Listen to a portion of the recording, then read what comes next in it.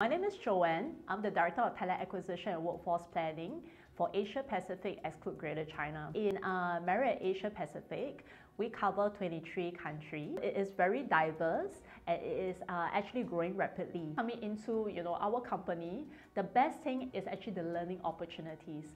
We have very standard development programs that will allow you to understand uh, international standards and also allow you to know about the brands, not only through internship, through management training program, we continue to develop people and help them to grow internally to get to the position they want. One thing is we have been working with BHMS for a long time and we have um, you know taken uh, interns that have been working in our hotels so we can see that you know they are diverse, they are versatile and they are really hardworking with the details required to come up with international standards or the brand guidelines. Take time to be able to hone your skills. Yeah, because once you learn the theory, that's where you need time to be able to sharpen and apply those craft.